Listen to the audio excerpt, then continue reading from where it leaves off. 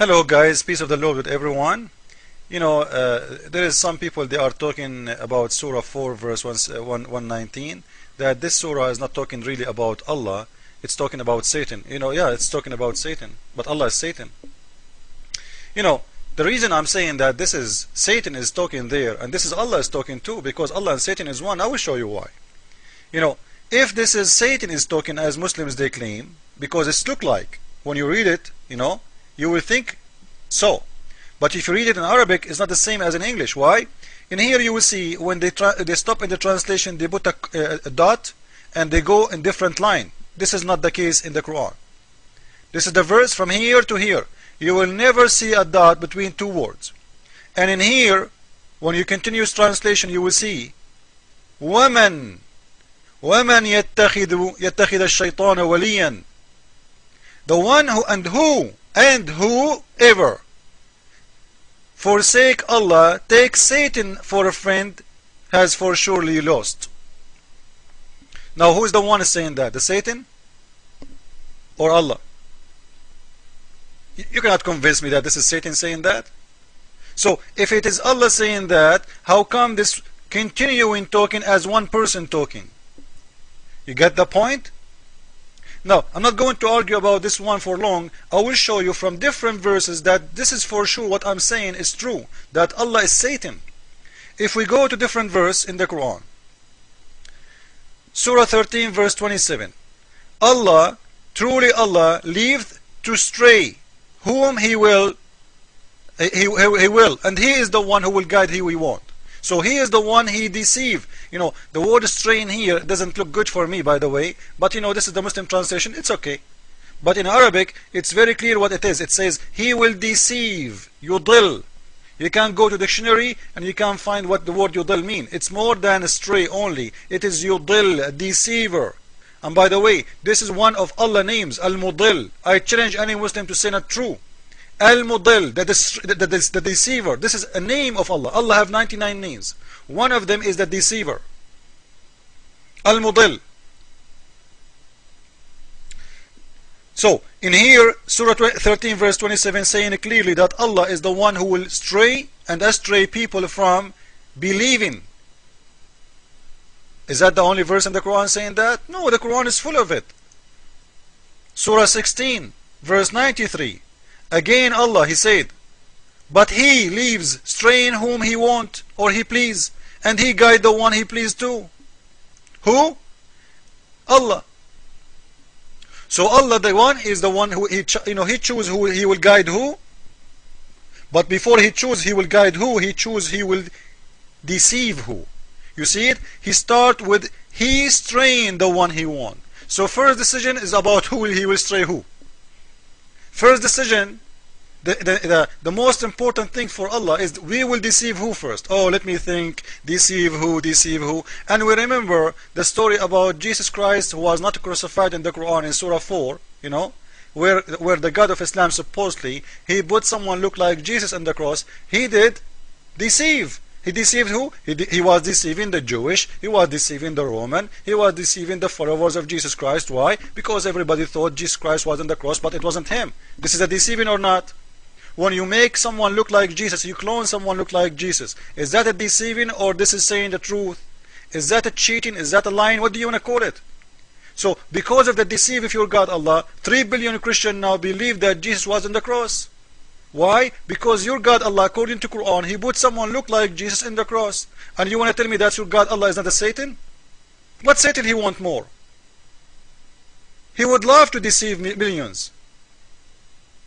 Now, is that the only verse too, saying that, that Allah is a deceiver? I can show you unlimited verses. Here we go. Surah 35 verse number 8. For Allah leaves to stray whom He wills.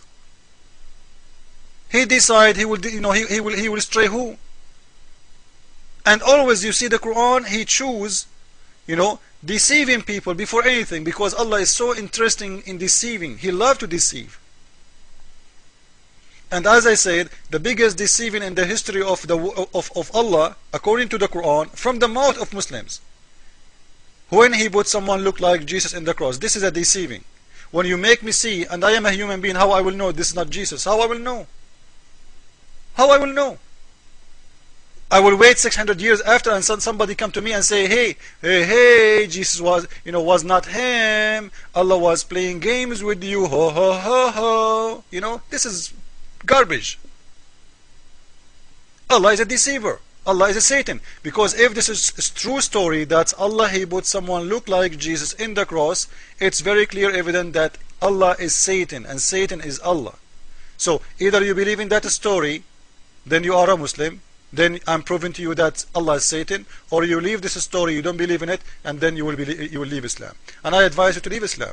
Now, is that the only verse saying that Allah, He is the one, He uh, uh, misguide and He deceive people? The Quran is full of it. Let me show you more.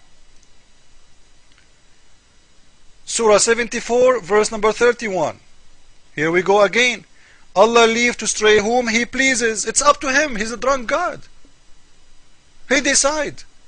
And always you will see him, he speak about deceiving first and guiding second. You see it? Deceive he won't he want and he you know he deceived the one he want. Now to make it short, to make it short, you know, uh, there's a verse in the Quran that says, if we want to destroy a village, we order the rich people in it to deceive and to, to, to do filthy stuff. Why God is ordering people to do filthy stuff in the village? إذا أردنا أن نهلك قرية أمرنا مترفيها أن يفسدوا فيها If we want to destroy a village, we order the rich on that village to do filth in it, so we would destroy it. So if he want to destroy it, he order rich people to do bad things. So why why you order the rich people to do bad things? If if he is the one is ordering them, what their fault? Now, to make it short and to show you in a very clear evidence that Allah is Satan for sure, if we read this surah, this verse in here, Surah 2 verse number 7. Allah had set a seal on their heart and on their hearing and on their eyes is a veil. And you know this verse I'm talking about, you know, Muhammad he stole it from the Bible, but it's not like that in the Bible. In the Bible it says those people they decide themselves to seal their heart. If you go to the Matthew, to Matthew 13, 13, you will see, therefore I speak to them in purpose, because while seeing, they don't see, and while hearing, they don't hear, nor they do understand. And you will see, and you will see that this prophecy in the Old Testament, when it says, in their case, prophecy of Isaiah is being fulfilled, which says, you will keep on hearing, but will not understand. You will keep in seeing, but you will not receive. For the heart of these people has become dull, which their ears they you know scarcely hear, and they have closed their eyes. Otherwise, they would see with their eyes and hear with their heart. So the Bible is saying it you know, it's the same, but in a very different way. Uh, in the Bible, it is Him, you, if you decide to seal your heart. It's you who decide to seal your eyes. In the Quran, you know, it is Allah who sealed their heart. Which proven to me clearly that Muhammad, who stole this verse from the Bible, he make it Allah is the one who sealed the heart because he knew who is Allah. Allah is a Satan. Allah is a deceiver because you know what guys you know just let us think about it why God wanna seal my heart why you know if I one day I go to to to, to hell and I stand in the front of the God and the God supposedly is God of justice and he said to me you know what you are going to go to hell and I will say you know what God you you are the one who did seal my heart so why you are judging me for something you did can I open my heart when you say you did, you did seal my heart? You will say no. You cannot fight God. You cannot change things will happen if God order things to happen is going to happen. So in here it's very clear that Allah who sealed the, the, the heart and Allah sealed the hearing and Allah put an eyes in, in their eyes a veil he is Satan.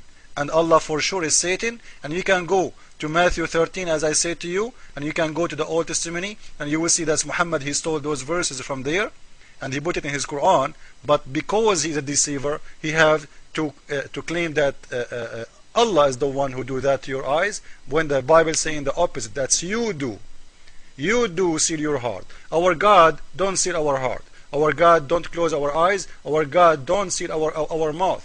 Our God he want us to, to know.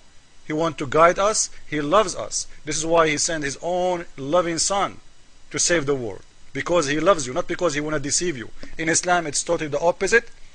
And I think now it's very clear that Allah and Satan is one. Amen thank you all